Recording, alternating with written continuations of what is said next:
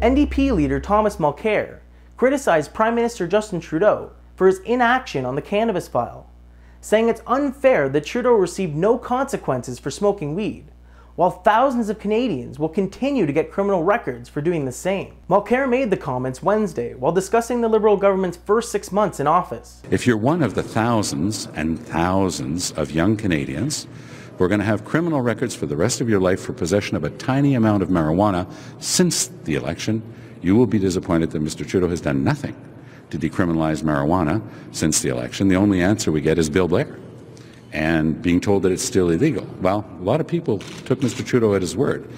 And Mr. Trudeau himself, while he was an MP, smoked marijuana. He talked about that. I have been in my past uh, a very rare user of marijuana. I think five or six times in my life that I've taken a puff. So, why is it fair for him to have nothing and for a young person who does the exact same thing to wind up with a criminal record that's going to follow them the rest of their lives? We think that that is one thing that he could have and should have taken care of right away. There's a pretty long list of things uh, that they've failed to do.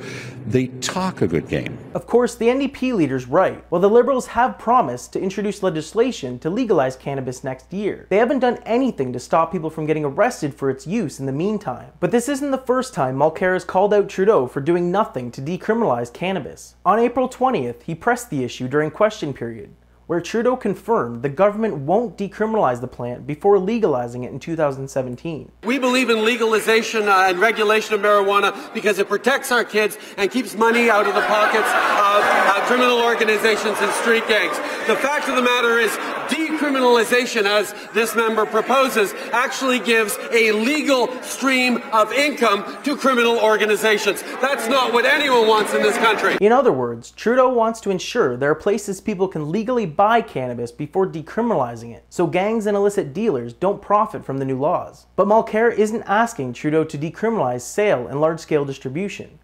What the NDP leader rightly points out is that people shouldn't continue to be criminalized when legalization is supposed to be around the corner? Why are Canadians still getting records for minor possession when we were promised reform?